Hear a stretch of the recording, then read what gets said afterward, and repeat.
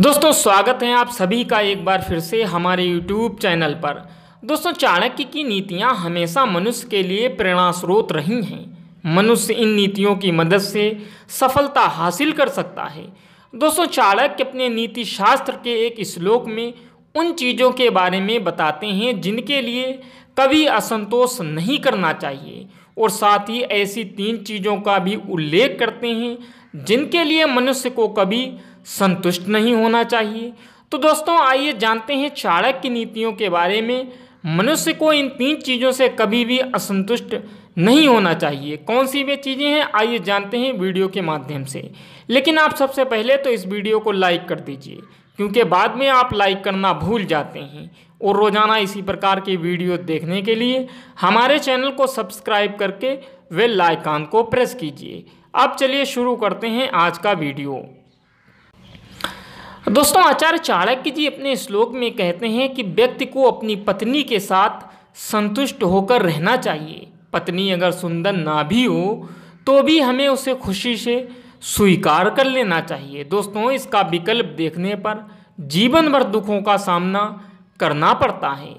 दोस्तों, आगे चाणक्य जी कहते हैं कि भोजन का अनादर नहीं करना चाहिए। भोजन कैसा भी हो, उसे खुशी से ग्रहण करना चाहिए। भोजन की बर्बादी से जीवन में कठिनाइयाँ उत्पन्न होती हैं।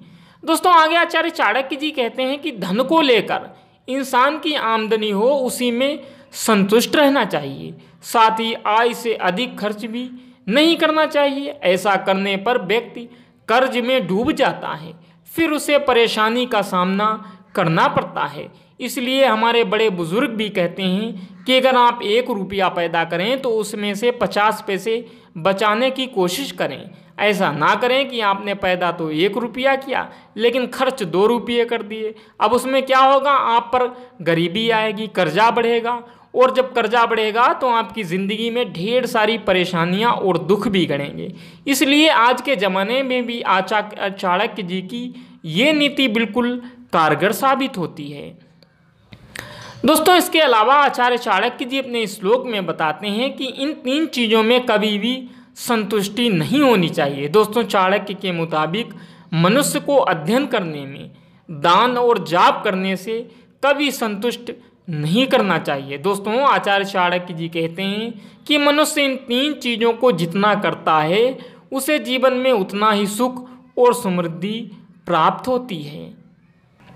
तो दोस्तों, ये थे आचार्य चाणक्य जी के कुछ बेहद अनमोल विचार जो वीडियो के माध्यम से हमने आपके साथ शेयर किया उम्मीद करता हूँ कि इन विचारों से आप कुछ ना कुछ सीख ज़रूर लेंगे। ऐसे ही विचारों को सुनने के लिए आप हमारे चैनल को सब्सक्राइब करके वेल आइकन को प्रेस कीजिए। चलिए दोस्तों, मिलते हैं अगले वीडियो में। तब तक आप रहिए, स्टे मोटिवेट, स्टे फेयरलेस जय हिंद।